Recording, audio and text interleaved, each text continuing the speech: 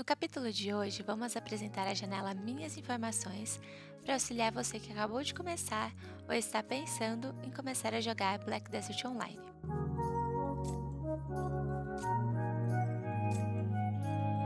Na janela Minhas Informações, você encontra diversos dados sobre seu personagem, suas conquistas e avanços no jogo. Para acessá-la, você pode abrir o menu, escolher a opção Personagem e então meus dados, ou ainda você pode abrir essa janela por meio do atalho P. Vale ressaltar que quando você abre a janela Minhas Informações enquanto está montado, uma outra aba se abre com as informações da sua montaria. Mas como temos planos para um vídeo somente sobre montarias, vamos deixar isso para explicar um pouco mais para frente. A janela Minhas Informações conta com seis abas.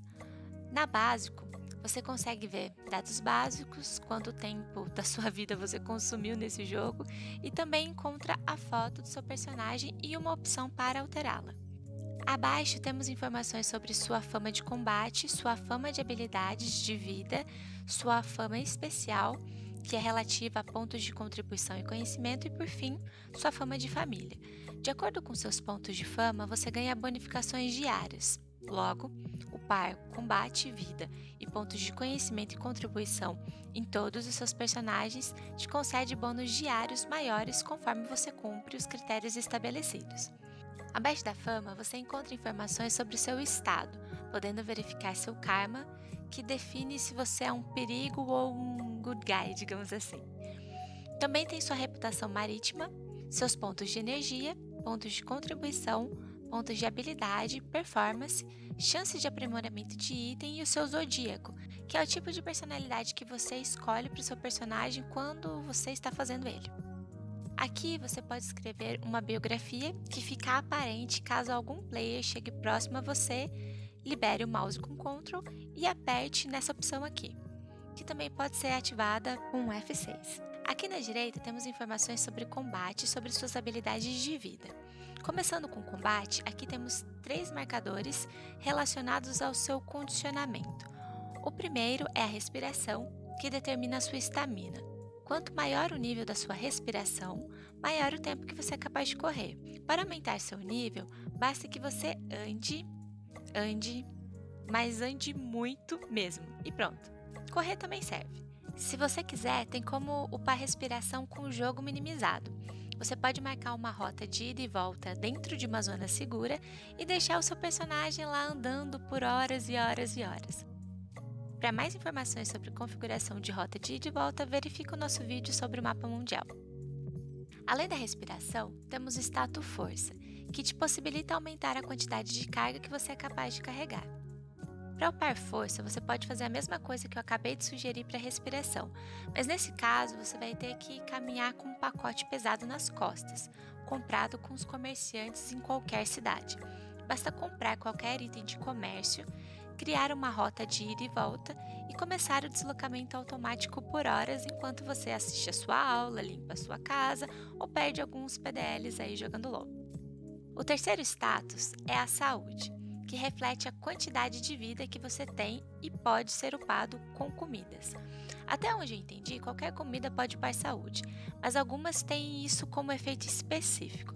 Essas comidas não compartilham do tempo de espera de consumo com as demais comidas, então você pode sempre que lembrar comer uma refeição normal e uma dessas que tem como foco expandir a XP de saúde, que com o tempo você vai ficando com mais vida total. Para adquirir essas comidas, você pode comprar no mercado mundial ou você mesmo pode fazê-las. Cuidado quando for fazer ou comprar alguma refeição, pois nem todas podem ser consumidas por você. Algumas são específicas para trabalhadores, por exemplo. Então, para não correr o risco, sempre leia a descrição do prato antes ou procure ele nas notas de produção para ter mais informações. Abaixo do condicionamento, temos o potencial de ataque, movimento, acerto crítico, pesca, coleta e sorte. No caso, essa sorte diz respeito à obtenção de item. Todos esses atributos aumentam com o nível do seu personagem e podem ser modificados pelo consumo ou equipagem de um item ou os dois. Terminamos aqui com as informações de combate, que também sofrem influência de itens e do seu nível, e que, apesar de aparecer também na janela do inventário, aqui aparece com mais detalhes. Mudando para as informações de vida, aqui você acompanha a evolução de todas as suas habilidades de vida, consegue ver o ranking dos mais bem conceituados Life Skillers por categoria e também por servidor, e pode obter mais dados clicando em Descobrir Mais. Ao clicar nesse botão, você é direcionado para a última aba da janela Minhas Informações, onde encontra informações mais detalhadas sobre as habilidades de vida, sobretudo sobre coleta e processo. Como as habilidades de vida são várias e cada uma delas tem as suas particularidades, falaremos em vídeos específicos. Na segunda aba temos os títulos, que são conquistas ganhas por feitos específicos e se dividem nas categorias Mundo, Combate, Vida e Pesca. Conforme você ganha títulos, consegue aumentar a sua sorte, sua energia e seu ganho de XP. Aqui você pode ver a porcentagem de títulos que possui por categoria e aqui consegue ver os nomes de todos eles. Clicando nos nomes, você tem mais informações sobre cada título e pode escolher o mais divertido ou o mais imponente para aparecer sobre a sua cabeça e assim você expressar a sua individualidade para os demais. A terceira aba é o seu diário, que mostra quando obteve os títulos mostrados na aba anterior. A quarta mostra seus desafios. Basicamente, ela mostra as recompensas que ganhará quando cumprir determinados objetivos, as recompensas que ganhará por tempo de jogo, as recompensas que ganhará por jogar durante eventos e as missões concluídas. Por fim, temos uma aba para recompensas, que mostra tudo que você já pode recolher por ter cumprido com todos os objetivos das abas anteriores.